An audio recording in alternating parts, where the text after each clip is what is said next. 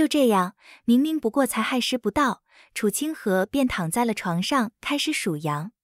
一只羊，两只羊，三只羊，喜羊羊，懒羊羊，烤全羊。而在楚清河这数羊数的开始莫名跑偏，并且感觉有些饿了的时候，院中的三女则是聚精会神观看间。伴随着时间的推移，小昭和屈飞烟一开始那脸上笑容已经不知不觉间凝重了起来。尤其是小昭，在这观看下，眼眶也是逐渐开始泛红。在小昭的影响之下，旁边原本还忍着的曲飞烟也是开始鼻子一抽一抽的，大大的眼睛之中逐渐开始有着水雾弥漫。一旁的邀月此时的脸色亦是沉重一片。渐渐的，啜泣声在这院子里面逐渐的回荡。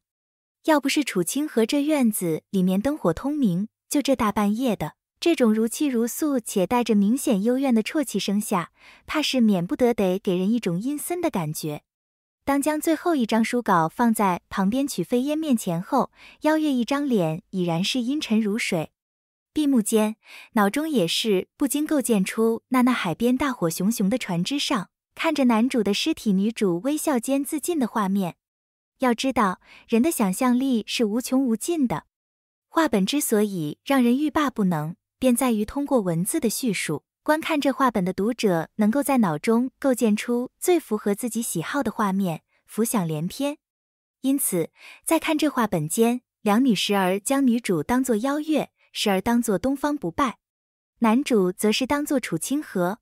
但对于邀月而言，无疑是将自己带入进去，看着此刻楚清河写的这一个画本的结局，邀月此时脑中画面浮现间。心中那种意难平，可想而知，使得邀月此时心中蓦然有了一种沉甸甸的感觉。哪怕是曲飞烟以及小昭都已经是将这画本同样看完了，邀月这边的情绪也是没有能够平复下来。不过有时候感觉来了，想要收敛下去，确实没那么容易。正如老话说得好，退一步越想越气，忍一时越想越亏，便如此时的邀月一样。在尝试着平复心情之后，越想心中的火气越盛，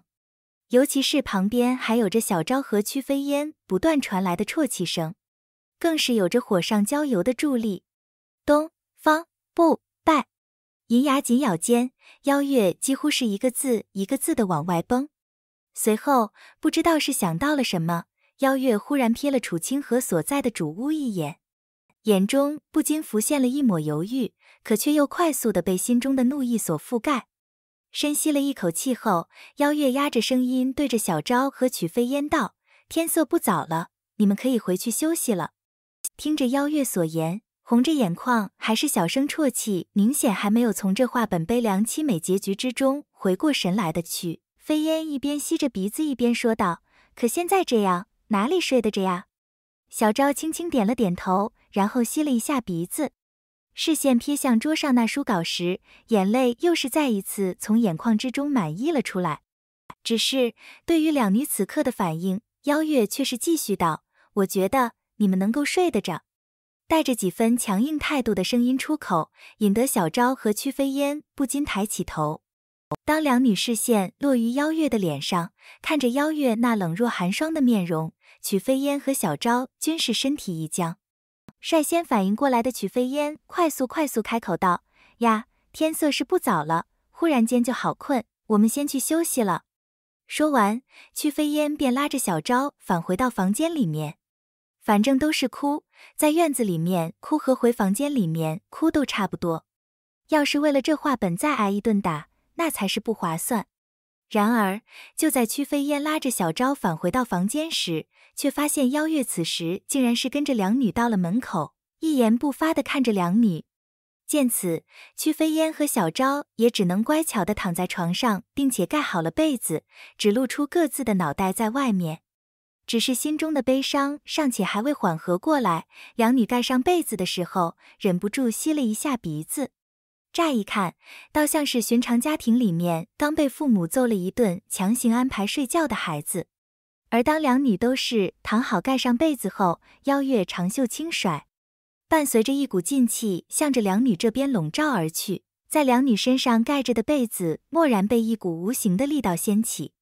紧随其后，则是另外两道混着真气的特殊劲气掠出，然后无比精准地落在了两女身上的穴位上。而在被点中穴位的两女，身体先是一僵，随后身体一软，呼吸瞬间就是绵长了起来。同一时间，空中那刚刚被掀起的被子也是再次落下，盖在了两女的身上。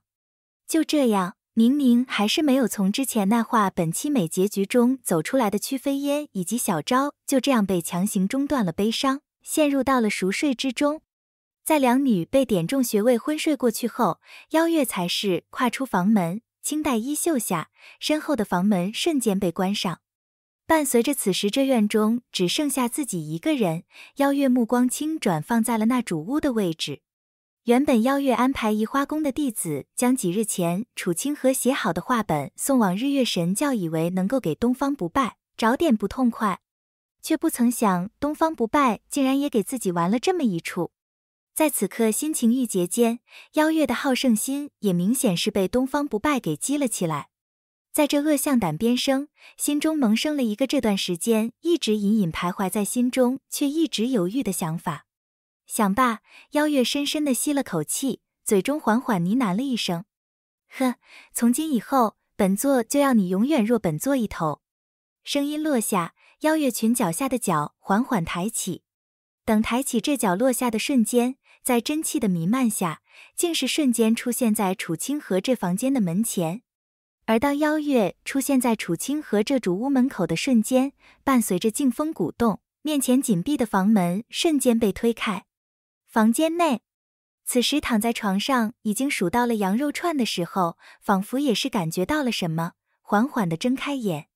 当借着外面院子里面的灯光，也是看见了此时站在自己身边，脸上带着几分思绪和犹豫的邀月。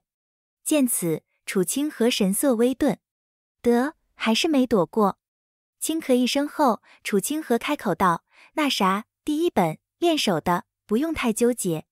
显然，此时的楚清河以为是在看完那画本后，邀月追到房间里面来问责了。看着面前这俊美的面容上那隐隐有些尴尬的神情，邀月此前那冷冽的眼神也是瞬间柔和了下来。几息后，随着邀月袖口挥动。真气涌动下，一股股劲气瞬间从旁边的窗户掠出，伴随着一股股特殊的劲气，快速的在这院中回荡。不过顷刻间，便将这院子周围那些灯笼之中已经燃烧殆尽的烛火全部扑灭，并且楚清河此时这房间的门窗亦是一同被关上。霎时间，整个房间的光线便是变得昏暗了起来。面对此时这忽然暗下来的环境，原本坐起来的楚清河神情微愣。不过不等楚清河多想，下一瞬，楚清河便感觉一股特殊的劲气从四面八方向着自己笼罩而来，禁锢住楚清河的同时，意识被点中了穴道，连带着邀月还顺势点了一下楚清河的哑穴。紧接着，自楚清河的耳边也是传来了窸窸窣窣的声音。至此，楚清河哪里还不明白邀月此时闯进自己房间的想法？几乎是脑中念头浮现的瞬间，一道声音便传入到楚清河的耳中：“放心，我会对你负责的。”随后，在些许的推力之下，楚清河被迫重新躺了下去。这一夜，在楚清河的面前，邀月再一次展现出自己的高高在上以及那不容拒绝的霸道。月色如蒙。落于这院中，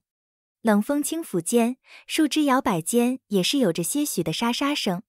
虽说院中没有了那灯火通明的温馨，但却也是让此时这院中多了几分静谧以及幽静的感觉。只是伴随着主屋之中的一些声音时而回荡，却是让这幽静的感觉蓦然变了味。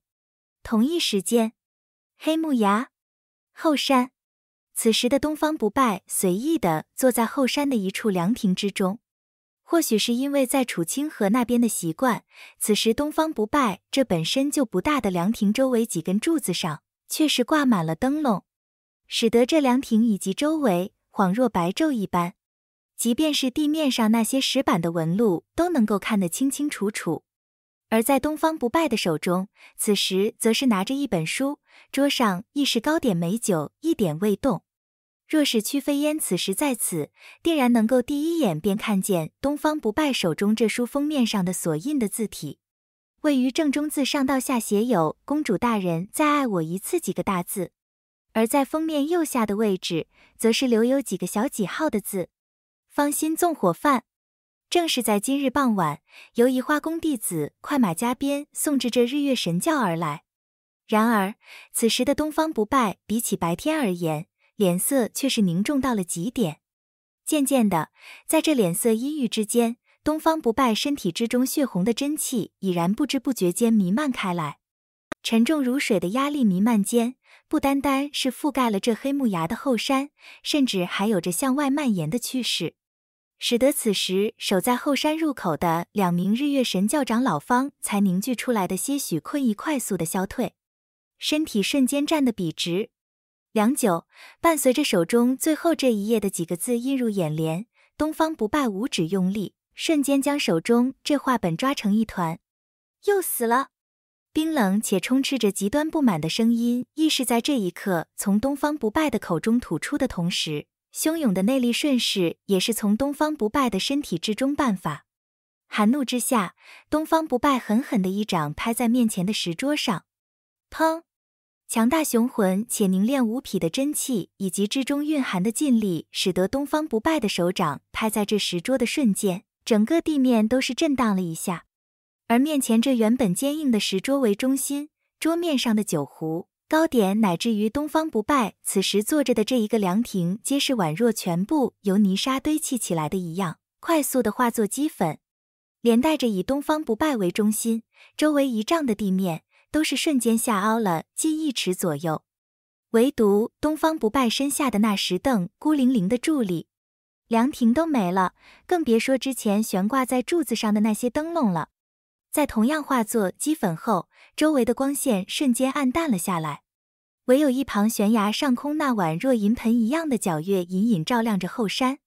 感受着脚下传来的震荡感，以及身后那充满了怒意和冰冷的声音，守卫在这后山入口的两名日月神教长老身体也是下意识的抖了一下。冷汗唰的一瞬便从两人的后背溢了出来，心中把凉把凉的。不过在这心中惶惶不安间，这两名长老忍不住对视了一眼，均是从对方眼中发现了相同的疑惑：谁又死了？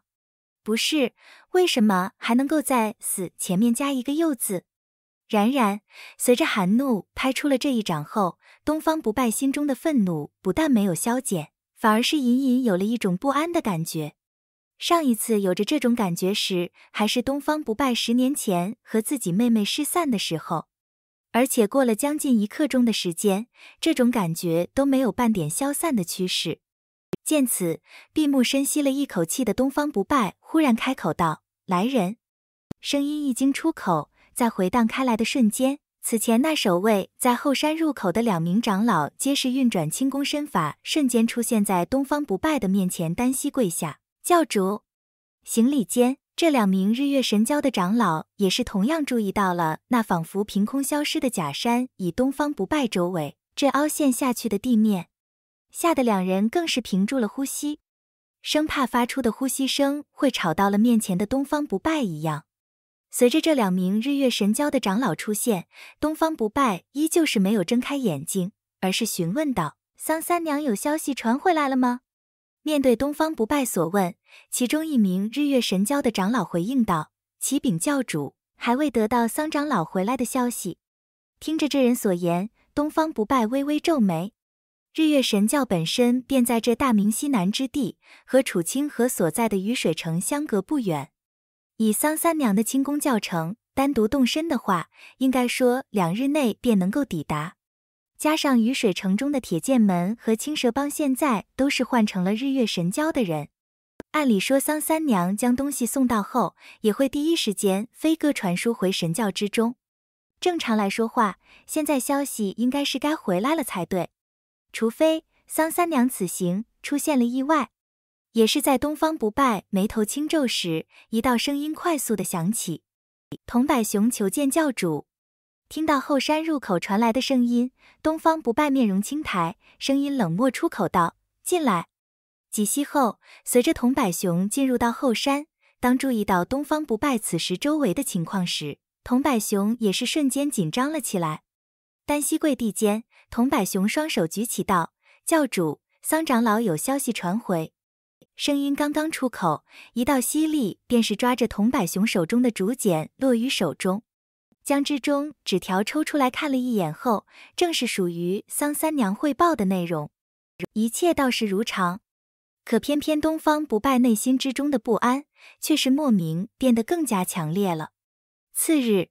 待到天色微蒙之时，随着楚清河睡醒，发现原本被点穴的身体已经是恢复如常。而在自己的枕边，却并没有看见邀月的身影。联想到昨夜发生的事情，饶是楚清河，此时也是有着一种如坠梦境的感觉。倒不是说和邀月这种高高在上、只能让人仰视的角色佳人确定关系后的不真切，而是在于这确定关系的过程。对于对的人，哪怕只是一眼，或许都会有不一样的感受。更别说是像楚清河和邀月以及东方不败这样每日朝夕相处、生活在一起的情况。虽然说都未开口，但实则三人之间的关系早已经是默认的一种状态。原本楚清河还想着过段时间再水到渠成确定关系的，却没想邀月竟然忽然来了这么一出。这也就算了，好歹给个配合的机会啊。从头到尾，楚清河基本上都是属于一动不能动，甚至于因为被点了哑穴，连声音都发不出来的被动状态。中间好不容易通过自身的医术结合内力冲开了邀月点自己的穴道，刚想起身就被邀月一巴掌拍了回去，然后用更多的真气和劲力重新点了穴。不说这体验感有些欠缺，关键是作为一个男人，邀月这让自己完全不能有回应的状态。多多少少都是有些打击人，因此想到昨夜的事情，此时的楚清河也是面带郁闷，良久都没有安抚下心中郁闷的楚清河，才是叹了口气，掀开被子准备起床。不过当刚刚掀开被子时，楚清河也是第一时间注意到了不一样的地方，心中轻疑一声后，楚清河仔细的看了一眼，然后再俯身到床底瞅了瞅。不单单是被单少了一块，连带着下面的棉絮以及木板都是空了一块。这也就算了，关键是这床底下还有着一个差不多三尺的大坑。见此，楚清河不由嘴角咧了咧。